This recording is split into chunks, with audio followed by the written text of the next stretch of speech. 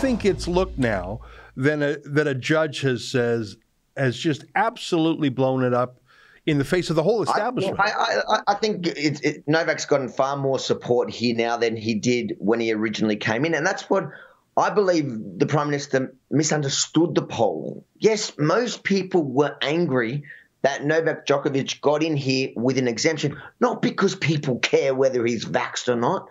The reason why people were angry is because 93% of the population, let's say 70% of or 80% of that, did it under duress, did it mm-hmm. because the government said you can't go to work if you don't have that. You can't, you essentially can't live. And so many people who tried to get exemptions mm-hmm. just couldn't get them.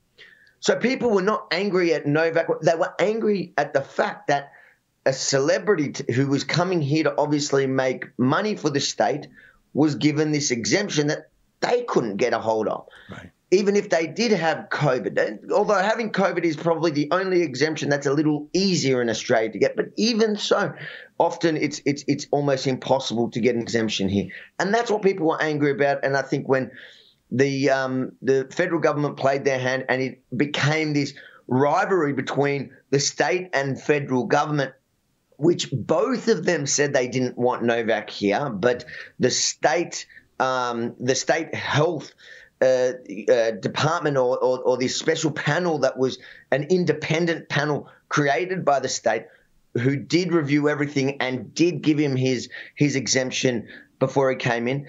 Um, th- it just became this pointing fingers where it was obvious that he did jump through all the hoops that were put in front of him that was set out, and he did it all legally, and still uh, they tried to uh, to. to uh, it's just an example of everything we've been through. The, the government think that they the rule of law does not apply to them, and, yeah. that's exactly what we've seen through throughout this pandemic here, especially in Australia.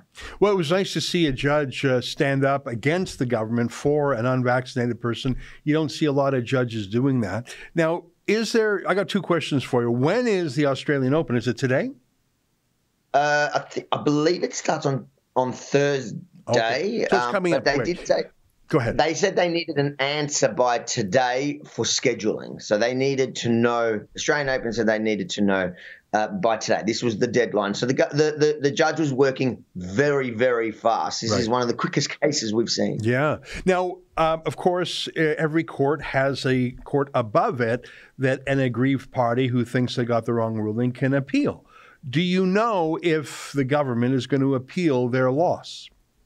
In this case, I don't think there's necessarily an appeal process in this because it was an injunction. So the, the the the route that the government still has, which right now is the talk of town, is that the minister has an a personal power to again go and recancel um, his visa. So hmm. arbitrarily cancel the visa and the process starts again, which essentially means he won't get into the Australian Open right. because there's no way yeah. um, it's going to be all done by this afternoon. So watch his space. It's important. I my, my gut, I I don't think they're stupid enough to do it.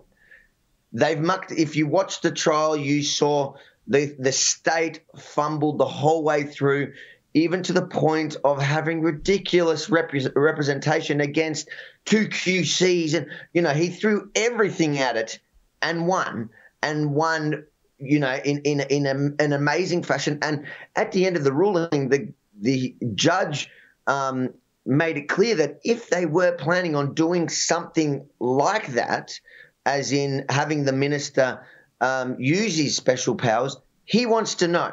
Hmm. He wants to know everything that's happening, and I think that uh, it's it's almost a warning to the government. Yeah. Don't go, don't go down that route. You know but what? You don't know. Then, then there's uh, private litigation. Like if you are the world's best tennis player, you're invited in good yeah. faith, you accept in good faith, you jump through all the hoops, and a court says you're fine. And if you're blocked again, I would imagine the the breach of contract, the economic interference, whatever the tort would be called, get ready to pay that man tens of millions of dollars. But of course, money's no object to the government these days. That's an excerpt from my daily show, The Ezra Levant Show. Every day I do a monologue on the news of the day, then I interview an interesting guest, and then I read my hate mail. You gotta subscribe. Go to rebelnews.com.